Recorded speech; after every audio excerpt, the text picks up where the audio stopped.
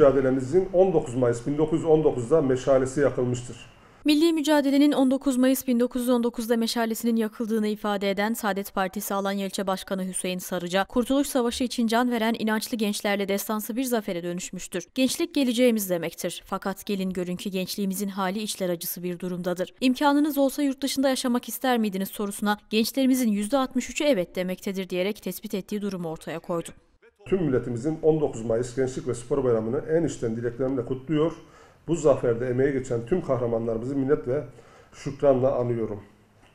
Gençlik geleceğimiz demektir. Fakat gelin görün ki gençliğimizin hali işler acısı bir durumdadır. Cumhurbaşkanımız çıkıp Türkiye'de yaşayamam diyenlerin biletini alıp göndermek lazım. Türkiye'ye yük olmaması lazım diyebiliyorsa gençlerimizin derdiyle dertlenmiyor, problemlerini çözmek istemiyor olduğunuz ortaya çıkar. İsrail'in Filistin'e yönelik saldırısında dikkat çeken Sarıca, hepimizin sınavıdır. Mescid-i Aksa'nın saldırıya uğramasıyla büyüyen olaylarda yüzlerce kardeşimiz şehit olmuştur. Gazze'de İsrail terör örgütünün gerçekleştirdiği saldırılarda hayatını kaybeden çocukların görüntüleri yüreklerimizi dağlamaktadır diyerek yaşananlara olan tepkisini ortaya koydu. Filistin kardeşlerimizi bombalayan uçakların pilotlarının eğitim aldığı yer Türkiye'de Konya'mızdır.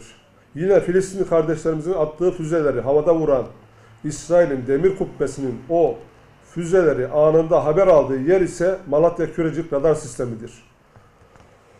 Burada AK Parti'nin İsrail karşısındaki durumunu şöyle özetleyebiliriz. Eşkıyadan hoşlanmayan, eşkıyayı sevmeyen ama korkudan eşkıyaya haraç ödeyen, eşkıyanın isteklerini karşılayan kişinin durumu gibidir. Artık söz bitmiştir. Biz şu an yaşanan trajedi konusunda hükümetin laf değil, kınama değil, icraat yapmasını istiyoruz. Sarıca iki haftalık tam kapanma akabinde herkesin perişan olduğunu söyledi. Esnafa yapılan 3000-5000 TL hibe esnafın derdine asla derman olamaz.